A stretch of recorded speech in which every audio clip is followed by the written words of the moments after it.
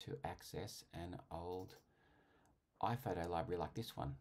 There's a new app called Photos, and if you try and open this iPhoto library, it will um, give you the option of um, trying to upgrade it. So here's how to get photos out of an iPhoto library without having to upgrade the whole thing.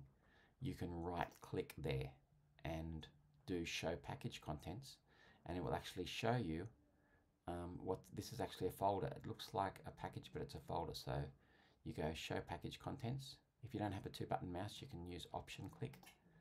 That now opens up inside the iPhoto library. You want to go to this folder called originals, which has the original photos in it, and they're all arranged nicely by year. So you pick a year, and you can just now browse all the photos. So here's a 3.5 meg photo, and you can just browse your way through the photos in that iPhoto library. Here they are. And any that you want, you can just drag out and um, copy them.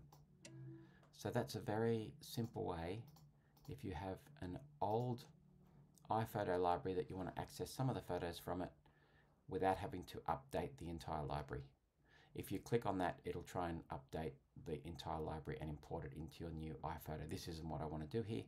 This is just some of my mum's old photos and I want to grab some of them out of her photo library. That's the way to do it.